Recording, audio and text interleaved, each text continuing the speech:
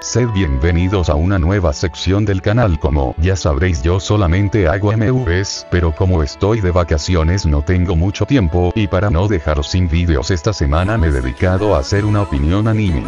Este video tratará de dar mi punto de vista de un anime, en este caso será del anime de Najino Azukara.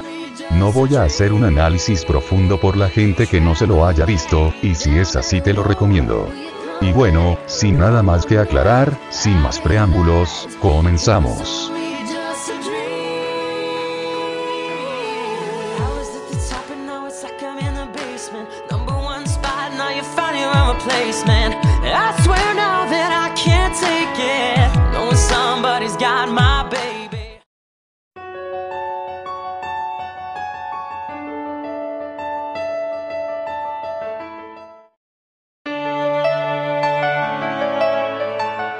El anime de Najino Azukara tuvo su primera emisión el 3 de octubre de 2013, producido por el estudio PA Works, tuvo su última emisión el 4 de abril de 2014. El anime de Najino Azukara narra las aventuras de un grupo de amigos que comienzan su viaje hacia la vida adulta, cayendo en enredos románticos y teniendo que verse en situaciones complicadas de esta misma naturaleza. Poniéndolos en contexto, a principio de los tiempos, los humanos vivían en el océano. Sin embargo, hubo un grupo que decidió salir a la superficie, provocando la separación de ambas sociedades, no solo físicamente, sino también culturalmente. Ya en el presente, esta sociedad marina, distinguible por sus preciosos ojos azules y sus escamas que brillan a la luz del sol, se ha empequeñecido al punto en que su escuela ha cerrado por la escasa población infantil y juvenil del área, obligando a los alumnos a unirse a la escuela de la superficie, que gracias a esta división cultural, la xenofobia también jugará un papel importante en la serie.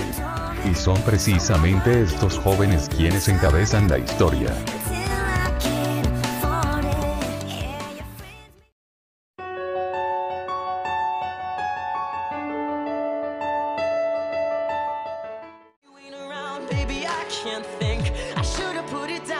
Y finalmente mi opinión.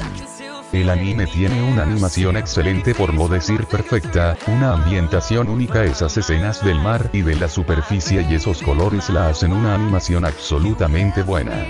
El anime es muy bueno en cuanto a la historia y los personajes porque la historia se va desarrollando a medida de que los cats pasan aunque en algunas ocasiones se estanca, el anime te engancha aunque tienes que darle unos capítulos para que te envuelva. En cuanto al desarrollo de los personajes, se nota bastante ya que en el anime, no quiero hacer spoilers, pasan muchos años. Manaka es la que menos se desarrolla siendo igual de principio a fin ya que es una loli al fin. Personajes como Tsumugu y Chisaki son los que más me gustan porque son los que más transformaciones tienen y le dan ese toque al anime junto a Ikari. En lo personal el anime cuando lo vi me gustó mucho, no es el mejor anime que he visto, pero vale la pena verlo ya que su animación, su historia y su banda sonora lo hacen un buen anime de romance que el que le guste el género, si no lo ha visto tiene que verlo. Lo bueno de este anime es que también tiene un final cerrado lo que no nos deja con dudas sino que te deja con un buen sabor de boca. Y bien dicho esto a este anime le doy una puntuación de 8 estrellas y media por todos los capítulos que te tienes que tragar para que te enganche. Muchas gracias por ver el video, si te ha gustado deja tu like y comparte con tus amigos. Y nada más, hasta la próxima chavales.